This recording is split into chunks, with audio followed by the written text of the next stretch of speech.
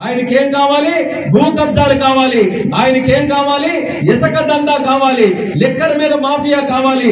ఇలా ఎక్కడ నుంచి డబ్బులు వస్తాయో వాటన్నిటి మీద ఈ రోజు తిమింగలం లాగా ఇటు వాటి మీద అనకొండ లాగా భూ బకాసురుడు లాగా మింగడానికి ఈ రోజు చూస్తున్నాడు తప్పితే ప్రజల సంక్షేమం గురించి ఒక్కటి కూడా ఆలోచించట్లేదు. అందుకనే ఆయన అలా చేస్తున్నాడు కాబట్టి ఆయన్ని ఆదర్శంగా తీసుకొని నేనేమైనా తక్కువ తిన్నానా? నాకు కూడా కొండలు కావాలని చెప్పి గుంటూరు కొండలు మింగేస్తున్నాడు. ఇక్కడ ఉన్నటువంటి నాయకుడు. ఇక్కడ రామకృష్ణపురంలో ఉన్నటువంటి భూముల్ని మింగేస్తున్నాడు. సూది కొండను మింగేస్తున్నాడు. నెమలి కొండను మింగేస్తున్నాడు. గతంలో ఎన్నో సంవత్సరాల నుంచి కొండలనంటే తరతరాలుగా మన తాతలు కూడా మాట్లాడుకునే వాళ్ళు ఫలానా దగ్గర ఫలానా కొండ ఉండేదని. ముత్తాతలు కూడా మాట్లాడుకునే వాళ్ళు నెమలి కొండ ఉండేది సూది కొండ ఉండేదని.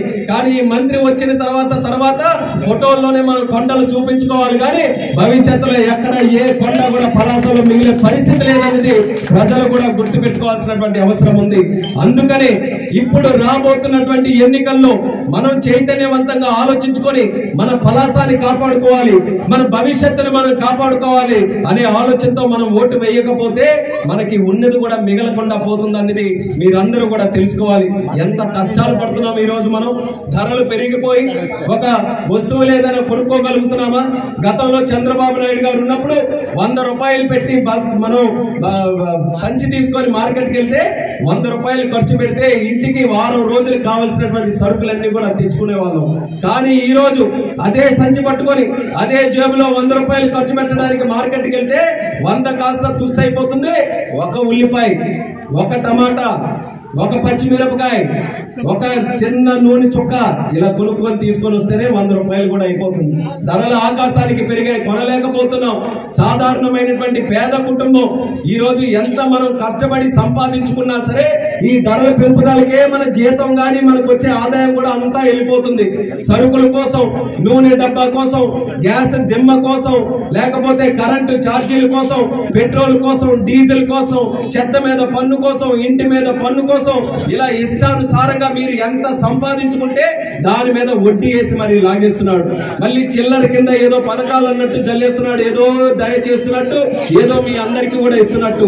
కానీ మీకు ఇచ్చినటువంటిది పదివేల రూపాయలు विधेयक జగన్మోహన్ రెడ్డి మీ దగ్గర లాక్కుంటున్నటువంటి లక్ష రూపాయలకు పైగా మీ అందరి దగ్గర ఆయన లాక్కుంటున్నాడు. ఆ విషయం కూడా మీరు తెలుసుకోవాలని తెలియజేస్తున్నారు. ఇన్ని మోసాలు చేస్తున్నటువంటి వ్యక్తికి అసలు ముఖ్యమంత్రిగా కాదు రాష్ట్రంలోనే ఉండడానికి అర్హత లేదు. అందుకే ఒక పక్క నుంచి కోర్టులు జైళ్ళు అన్ని కూడా ఎదురు చూస్తున్నాయి. మా ముద్దు బిడ్డ అంటే ఎస్సీలు ముద్దు బిడ్డ కాదు ఎస్టీలు ముద్దు బిడ్డ కాదు రాష్ట్ర ప్రజలు ముద్దు బిడ్డ కాదు. జగన్మోహన్ రెడ్డి ముద్దు బిడ్డ అంటే జైలు ముద్దు బిడ్డ ఆయన. అందుకే జైళ్ళన్నీ కూడా చూస్తున్నాయి. మా చెల్లపల్లి జైలుకి వస్తావా? రాజమండ్రి జైలుకి వస్తావా? కర్నూలులో జైలుకి వస్తావా అని అన్ని కూడా ఎదురు చూస్తున్నాయి. కానీ ముఖ్యమంత్రిగా ఉన్నాడు కదా. కోర్టులు పిలుస్తుంటే ఒకే మాట చెప్తున్నాడు. నేను ముఖ్యమంత్రిగా ఉన్నాను కోర్టులకి రాలేదని చెప్పి. గతంలో కూడా కోర్టులు పిలిస్తే డ్రామాలు ఆడాడు. ఏం డ్రామాలు ఆడాడు? కోడి కత్తి డ్రామా ఆడాడు ఒకసారి.